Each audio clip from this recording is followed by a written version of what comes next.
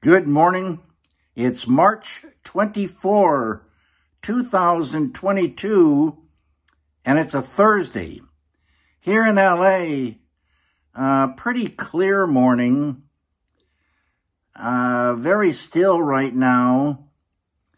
61 degrees Fahrenheit, around 16 Celsius.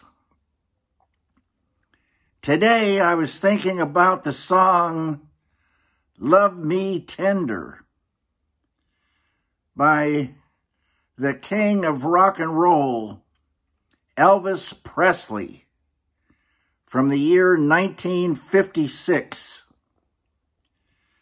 This afternoon it's going to be going up to 82 degrees Fahrenheit.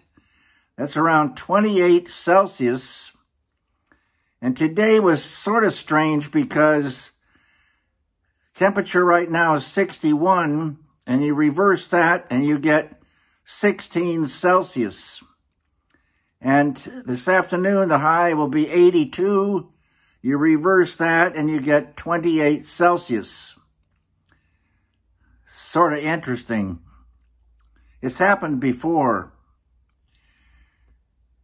Today, there may be some clouds till mid-morning, and then it looks like it's going to be all beautiful blue skies and golden sunshine all along the way. Everyone, have a great day.